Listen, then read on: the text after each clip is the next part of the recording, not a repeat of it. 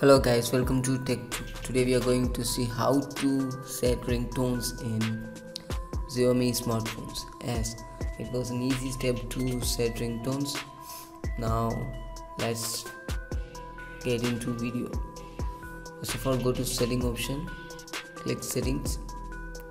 Here you can slightly scroll down and go to sound and vibration. as this option. Click it and here you can see phone ringtones alarm sound events and notification ringtones are having. You want to click phone ringtones. Here you can see a lot of uh, three ringtones are available. And if you want other ringtone means click all ringtones. And you can choose in online ringtones and as well as local in ringtones also available.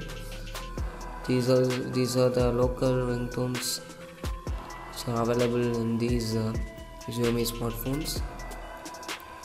And as well as you can choose online ringtones by using internet connections.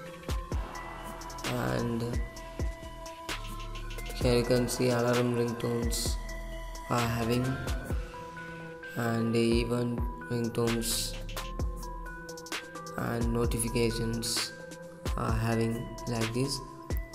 So this is how to set ringtones in your Xiaomi Redmi mobile.